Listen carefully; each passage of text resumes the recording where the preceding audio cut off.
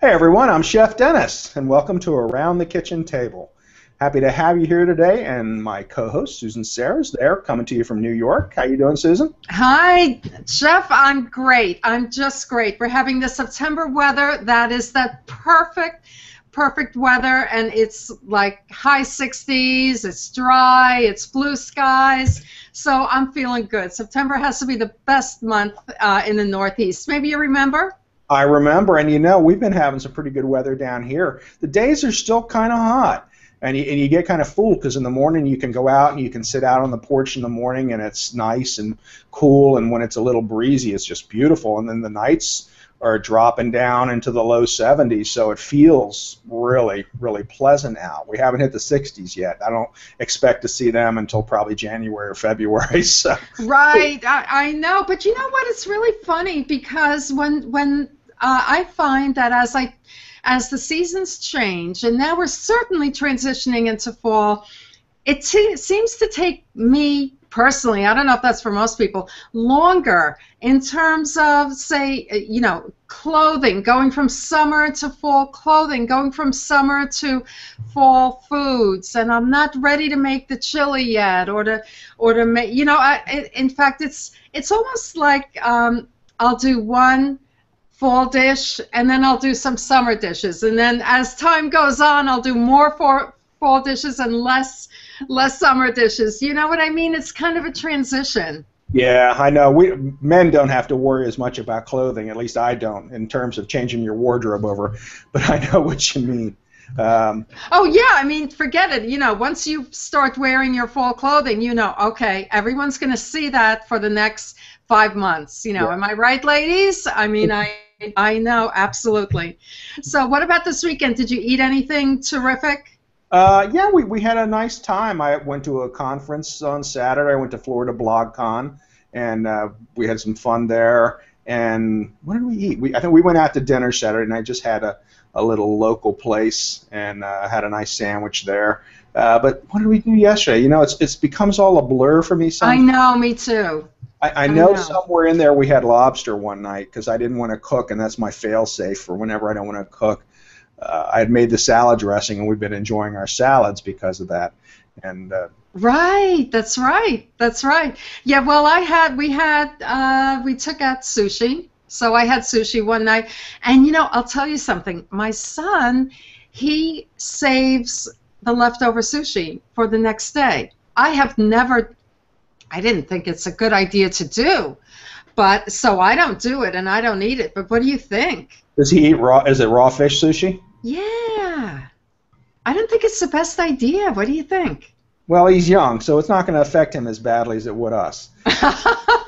you know, young, younger people, you know, after they hit like 20, they're they're pretty good until they hit about 40 with stomach issues, and uh, you can you can eat things that you know you become almost like the family dog. You can eat things that everybody else can't. So you know, I don't want to put it in that respect. But. No, but I think you're right. You're right because that's what my kids do. You know, I have two boys living with me, and then my my uh, future daughter-in-law and they're like grazing like you know whatever's left over they're always grazing. So yeah their you know, immune systems aren't, aren't quite as, as um, easily uh, interrupted. They I have should. stomachs of iron. Yeah. and i remember those days you know i was like oh okay you smell it no, doesn't smell that bad all right let's eat it. Right! Oh exactly. Oh funny. So what so we have now we have a fall would you I call this a fall dish. What do you think? You know, it's a classic, and we were talking yeah. about it before we started. Steak Diane used to be a staple. There's a lot of dishes that were really so popular. I think when people really started going out to dinner in between the 40s, you know, after World War II,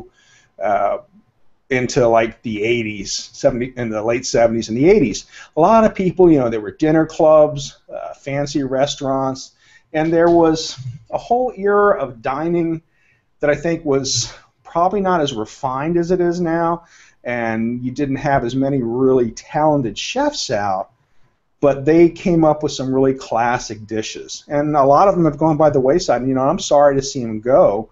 Uh, one of my favorite that you never see anymore is Clams Casino. You know, I just love those. Uh, but That's dishes true. like yeah, dishes like that have kind of gone their way as people have uh, come into different types of fusion cooking and different styles and different techniques. So it's a lot of these classics. Now, steak Diane wasn't technically a classic. It was invented early in the 1900s. It's not a French dish. It's an American dish.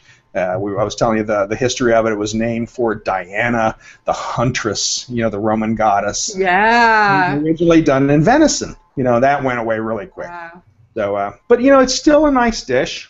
You don't have to. And, call and you know what? I, I I would love to bring bring other dishes like this back throughout our broadcasts and do some that are forgotten, a little forgotten, but absolutely delicious. And and you know, how about you? Would you like to do that? I think so. You know, and, and it's like going back into my repertoire. And you know, there's Yeah. things will come to me for the oddest reason anymore. A, a word will just prompt something. You know, it's all stuck in that hard drive that's like overloaded with information that you can't find to save your life when you're looking for it. But all of a sudden, I'll sit there and it'll just, you know, it'll just come out like, Yeah. wow, I remember that. Yeah, I think we should do a little bit of retro uh, Retro, retro cooking. Absolutely. So I'm I really you know love this. All right, So- so uh, Where do we go? let's get started then. Uh, we're going to start with our fillet. Now, I- have, and you don't have to use fillet. I happen to like, well, I don't eat beef, so I don't like fillet, but um, I like using it and I like working with it. My wife loves it because it's so tender. But that being said, you could easily use uh, flat iron steak. You could use uh, a London broil type of steak and and sear it, cook it, and then make the sauce separately and serve it that way. So you know, any kind of a beef steak is really you know really good for this, and it's it's more the experience in the sauce. So I've got a nice size uh, fillet steak here, and I'm going to split it in half. So there's no you know I don't want people when I said cut it in half to think I meant cut it you know in directly in half, but I'm more or less going to be butterflying it, but all the way through. So I'm coming up with two thinner steaks. Oh, that looks good. Yeah, it's got a And nice it looks color. tender. Oh yeah, it feels good. You know, you can. yeah. And I did leave some of the fat. I, I took the membrane off of it. That would have been hard to eat, but you know, fat brings flavor. And some of it's going to cook off, and what doesn't, you know, she'll just pick off. So that's all you need to do to prepare. In the old days, we used to do it a couple of different ways. And one of the ways was to take mustard and coat the steak with the mustard, uh, and then dip it in flour, and then saute it. So you know you could do it that way. I haven't done it that way in a while, and I kind of like searing the steak without it. So at this point, I'm just going to turn on my cooker, let it get a little hot. We'll throw some butter in it and uh, get started. Now, again, if you don't want to use butter, um, I'm using butter because classically, when it was made, that's how it was made. But if you want to use extra virgin olive oil, that's fine. Ex- except you know we're we are making a pan sauce and because of that, that's one of the reasons we're using butter because the butter is going to give it some flavor as well. Okay, um, I have a question for you, and this may seem, you know, some of my questions are, let's say, a little wacky, and this one might be it. Um, I know I've in restaurants too, in more old school type restaurants, I, I and I forget the name of it, but essentially it's sirloin, chopped, chopped meat. That's it, it's not in the shape of a burger. Maybe it's a little bigger and rounder. Mm-hmm. But could you do this with a good chopped meat and have this sauce Oh, sure. Like a, accompany it? like a Salisbury steak almost kind of a thing. Yeah, but Salisbury steak is a steak, isn't it? No, it's chopped meat. Okay, then that must be what I'm talking about. That's a chopped and formed patty. No, um, yeah, then that must be what I'm talking about. that would work fine. You know, anything you want to use. It doesn't have to be an expensive cut of meat because again, it's all about the sauce. Mhm. And that's uh, oh, I I love the comment Aslan just put up. Here we go. Let's throw that up. Little ditty about Jack and Diane, two American kids grown up in the heartland. Jackie gonna be a football star, and Diane got fried. Oh, that's good. Now, Diane's gonna get fried right now. Actually, my version of it is called Danielle. So I'm gonna throw a little butter in here. Let that get melted. Okay, and chef, can I, I have I have lots of questions on this dish. Sure. I also want to know what about what about the pan? Um, can you use non-stick? Can you Sure. use, should you use what about cast iron? You what can about use You can use any pan you like. It, the pan has no matter in it. Oh, it doesn't. One type isn't. I Yeah. mean, do you want a crust? Uh, not necessarily, no. I mean, you can have a little crust on it, but we're not really taking it to the level to put a crust to worry about there being a crust on it. That's not going to be the objective here. Okay, so you can do non-stick then. Yes, and you know, I should have salted it and peppered it before it went in. I did forget that because I cut it in front of you. What I, sh- you know, would have done normally is cut it, seasoned it, and let it sit for a little bit. So we'll watch the seasoning. And again, another thing about this is the meat was room temperature. It sat out for a while, so it's going to cook more evenly. Oh, good point. Because when the Good meat's too cold, what happens is it'll cook faster on the outside, and it'll leave the inside a little more rare. So if you like that, that's good. If you want it to be more evenly done, then you want to do it the other way. So you know this is pretty thin. It's going to cook pretty quick. Lisa likes hers well done, so it's going to cook a little bit longer than normal. But you can see it's starting to. It's got a nice color. So you don't want to. Yeah. You don't, you don't want to muddy up that nice piece of meat. Like this is really pretty, where there's a little bit of a crusting around the edge, and it's starting to look nice. So that's that's good. All right. So as this is cooking, and we just let it cook briefly, I'm going to add in some garlic and some shallots. And if you don't like uh, garlic or shallots, or just want to use a little onion, again, that's fine. Or if you just want to use garlic, that's fine. This is again a, a classical in- interpretation of it, and that's about all I'm going to do with them there. And then I'm going to throw some mushrooms in. See, now the one thing about using butter is it's not as forgiving, and you have to be a little faster with it because butter's heating uh, cooking temperature is a little bit burn temperature is a little bit lower than anything else you're going to use. Yeah, and once you put garlic in there, you better uh, watch that garlic.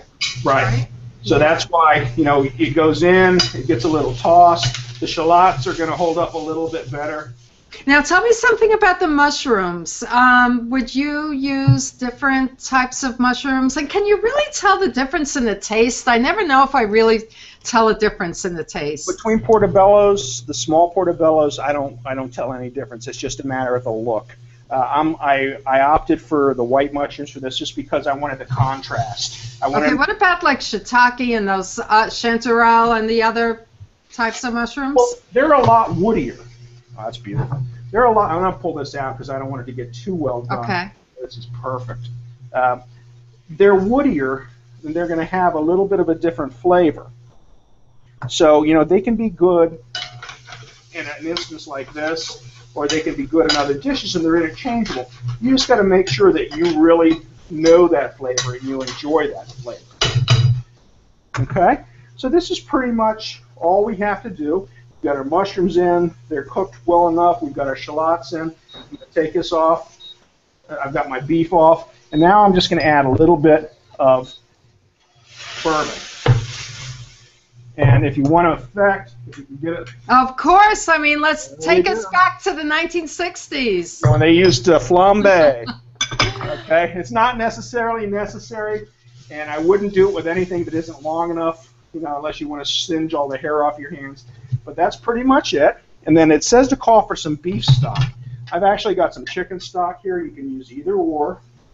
Chicken stock is just going to make the sauce a little bit lighter. The beef would make it a little richer. So, chef, there's not really a difference in the uh, taste between burnt between the flame flaming flaming it and not flaming it. You just want to burn the alcohol off, so it would cook enough just to get the alcohol off. But And- why do you want to get the alcohol? Silly question. Why do you want to get the alcohol off? It, it does affect the flavor a little bit. Okay. So you don't want to have the harshness of the alcohol. Got Okay. some Worcestershire sauce here. All right, so we have the stock in there that's burned off. I'm going to add some mustard. And again, it's a, it's a brown mustard. And I need one more thing. I did not get my cream out. Nice blend of flavors there. And now we hit it with a little bit of Oops. Top's on. I haven't used it yet. Okay. Now, what about any low-fat substitutes for the Uh, cream? Sure. Non-fat Greek yogurt, half and half, light cream. But again, you know, if, if this isn't going to be something that you're going to eat all the time, Yeah. so that's going to reduce. And once it's reduced, we're going to serve it up. So So that's that. very that's very light. That's a very light color. yeah, it is. It's going to cook down a little bit. The beef stock, if I had had beef stock, Mm-hmm. it would have been a little bit darker. So that would have been a difference. Now I'm going to throw a little bit of butter and flour in there. Oh, there you go. There you go. I, if you missed it, he took it with his fingers. I certainly did. That's my beurre manié, and that's how I tighten up any pan sauces or any saute dishes. So this is pretty much, I'm going to turn it down a little more. oh yeah, Nice flavor. I'm finger gonna looking good. Just let it reduce just a little bit more. I want to see you stir it with your fingers. I remember you said that. there you go. I'm a little out of practice. fast. Well, I'm a little out of practice, and it was a little hot. Wow. Induction cookers get really hot fast. They do. And the whole trick with stirring with your fingers is you didn't do it at the end. You did it when you added all the ingredients in. Oh, okay. and it wasn't it wasn't that hot yet. Okay. No, but you know, but you can handle it.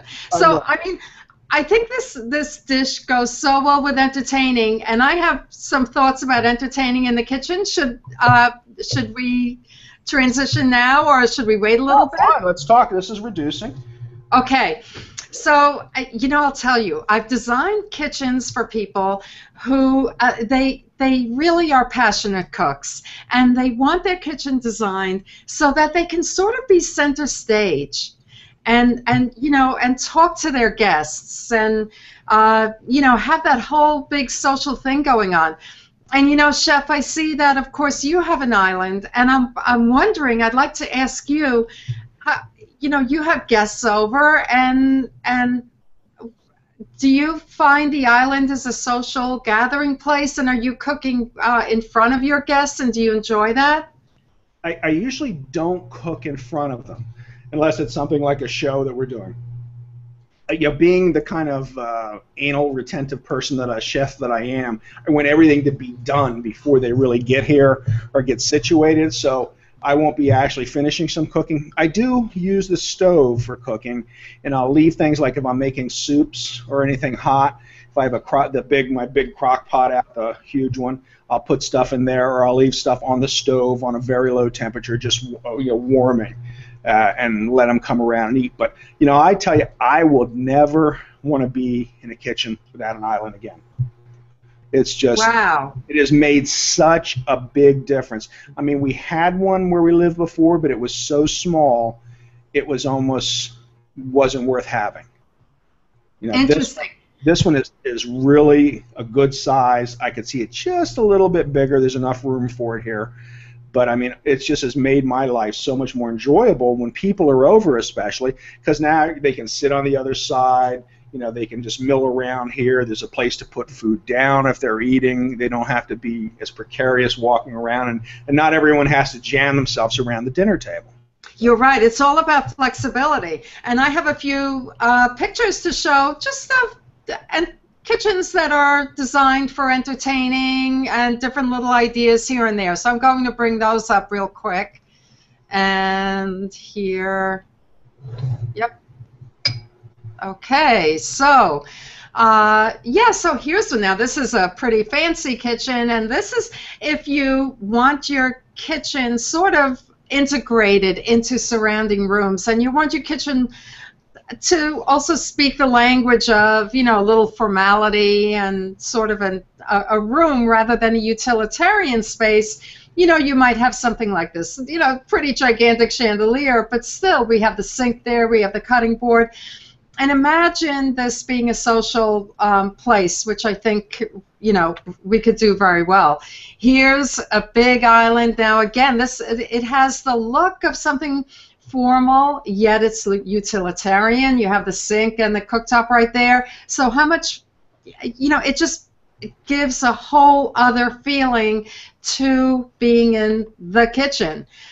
Uh, here's some areas that these doors can conceal uh, the open sort of closet areas, but and you know you have lighting there. It it looks um, special. It doesn't look so utilitarian, even though it is. Here's a you know kind of cool sort of table concept that has a uh, a cooktop on it, and then we have specialty areas. Here's the wine area and over there's another little prep area. So, and it is wide open. It is utilitarian, but it's also a furniture kind of a look.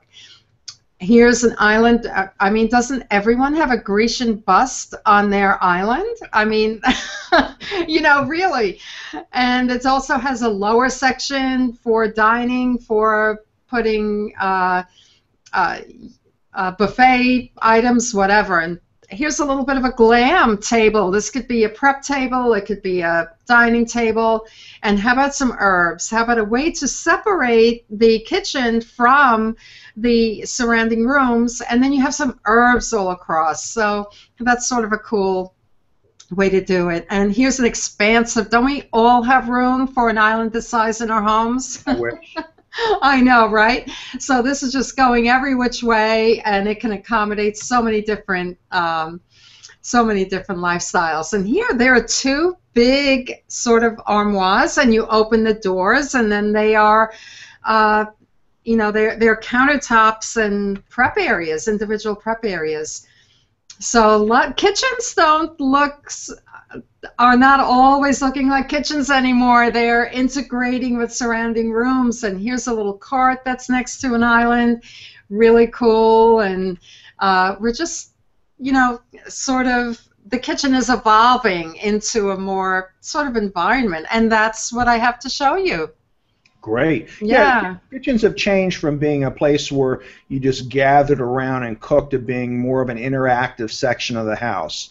I mean, you see computers going into kitchens, tables going into kitchen desks. Uh, they're becoming more active spaces, which is a good thing because anytime you can get people back into the kitchen, however you do it, it's a good thing. You just got to remember to cook in it too. That's right. That's right. So, so this is pretty much, I mean, it's it's thickened up nicely here. It's darkened up just a little bit. So this is something too that you could do ahead of time if you wanted to for a party.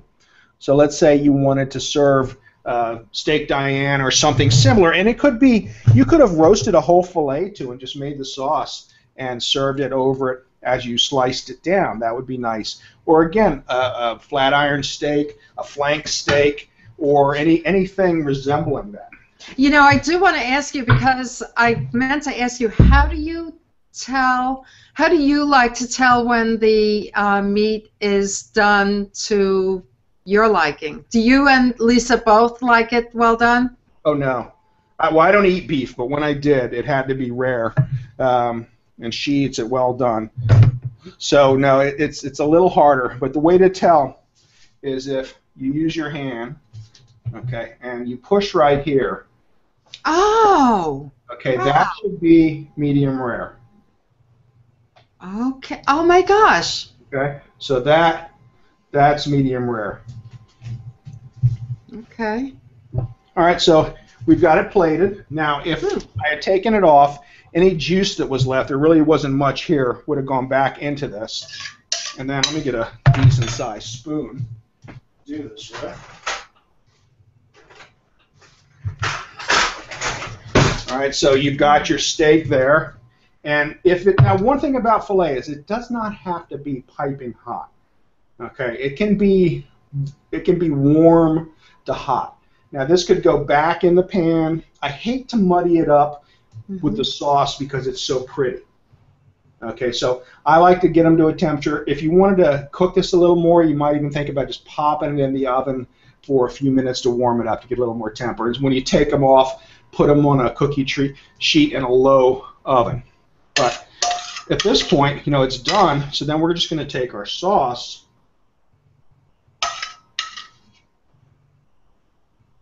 Remember, the fillet is the star. Uh huh. So you want it to remain the star. So the sauce is not going to cover. Okay. cover everything. So that'd be pretty much it. And then in the initial recipe, these get cooked into it. But I don't like to cook them because they just turn to mush and they get ugly, the green onions. So I use them more as a garnish at this point. Mm-hmm. Mm-hmm. A little bit of parsley. You want to hit it with a little bit more salt, pepper. Boom.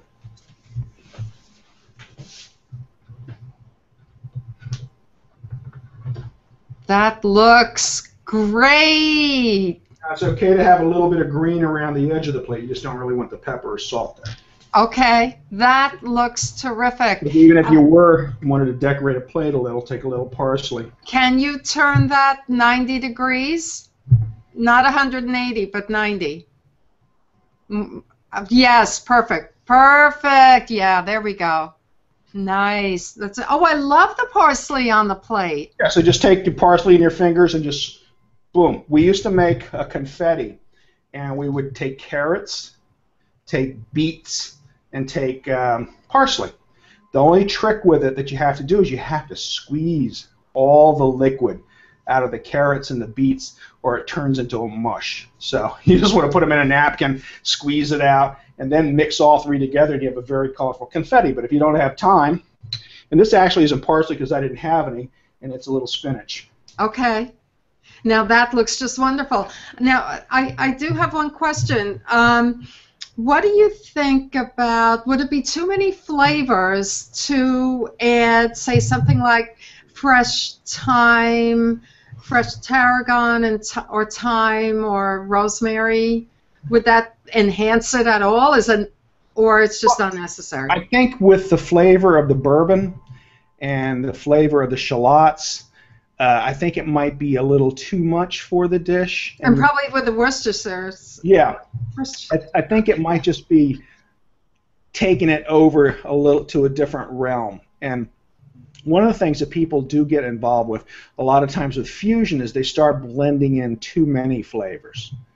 So you want them to stay intact to the point where you can identify them, but not really being so overpowering that they're going to, just like the sauce shouldn't be too mustardy, it shouldn't be too Worcestershire sauce, it should be a blend. Okay, So mushroom- it's, so it's a classic for a reason. yeah, you know, and it again, it's flavors. It's it's simple. It's simplicity. I mean, you saw how fast it was to make. Yeah. And again, if you were doing a flat iron steak or a flank steak and you wanted to grill it, you wanted to roast it in the oven, and then just make your sauce on the stove top with mushrooms, you can do that and just serve it that way. I mean, it does not have to go into the pan to be fried with butter, you know, so you could avoid that step if you wanted to. But it's all about presentation. It's all about, you know, if you if you got a flank steak, and I should do one to show you, is you want to make sure you're slicing it down in nice slices and put it all back together so it's presented nicely. One thing about beef, okay, if you're going to cut beef or even chicken for that matter, any meat that you roast, you need to let it rest before you cut it. And, and I don't mean you know tuck it into bed and with a night you know with a blanket and all that. I mean set it down, don't touch it, don't cut it. Give it a good 10 minutes. You know the thicker the meat, the longer you need to let it rest. But Okay, get- but I have a but I have a question. Do you take it out maybe a little bit before you think it's done, and then it'll continue cooking? yes, yes, meat Oh, okay. meat raises 10 degrees after it comes out of the oven. Okay, it continues to cook, and the, again, the bigger the piece of meat, the longer it's going to keep cooking. That you leave it intact. So when you pull a piece of meat out, if it's if you want 145, if you're looking at beef, it should come out around 135, 140 in that range. If you pull out 145, you're liable to get 150, 155. So it might not be that medium rare that you wanted or it might not be you know red enough for you. And usually red's the only problem we have. You can always cook it longer to make it more done. It's hard to take it away once it's once it's out. But even with poultry or pork, you know, it's the same thing. It's it's going to raise about another 10 degrees as it continues to cook. Yeah, I mean, I feel with poultry that you almost have a, a very small window, an extremely small window, where it's uh, it's not uh, raw and it's not overdone, right? And, and the problem with poultry is is that the dark meat tends to cook a little differently than the white meat. Yeah. So you know, by the time you got your dark meat cooked, the white meat's dried out. So you know, those are the problems that you run into. I mean, I, sometimes I think we should just roast chickens upside down for the most part. Um, so that the top gets more heat or or you know open them up you know i think sometimes we're married to the fact that we want to put that whole bird in there you know maybe we need to split it down the middle and just put the halves in instead you know so it's mm. easier to control how we cook or, or, you don't even have to go all the way just butterfly it and open it up uh, yeah a little easier well this is a beautiful mm-hmm. beautiful dish easy elegant yes. and uh, I, I think it's a perfect dish to uh, do if you're socializing, if you're entertaining in the kitchen, because it really the steps are very easy. And if you're that type of person that you like to cook as a little bit of performance art, yeah, and honestly, a good one. If you're doing a party, one piece would be enough if you're serving different foods. Don't think that you have to, you know, give each person like six or eight ounces of meat. You know, three or four ounces is plenty if you're doing some kind of a service because you're going to give them like I would make garlic mashed potatoes to go with this and I've got some green beans back here I'm going to cook for tonight very simply. So you know you, there's so much more that they're going to eat in comparison to this. And, and if you give them less than you think they want they're going to savor it. If you give them too much the last few bites are going to be forced and full. Oh I love it. So yep. leave them wanting. Leave them wanting well, we'll leave our viewers wanting, Chef. And uh, thanks so much for this one. This was really great. I mean, the classics are for a reason. Absolutely. You know, and it's it's good. They're forgotten. So let's bring them back, and your guests will go, "Wow." Yeah. Yep. Let's do that in future shows. Sounds good. Sounds like a plan to me. All right, Susan. Thanks so much for coming, and everyone who joined us. Uh, Jamal, Aslan, Elena. I see you. Nazim is in the house uh, Sandra Watson and yeah, Elena, yeah, Aggie Unzueta's here. Uh, we've got such a nice crowd. Christopher Vogelman's in the house. So thank you all for stopping by. Sorry if I missed anyone, but we'll see you again next week around your kitchen table. So have a great week. Bye bye.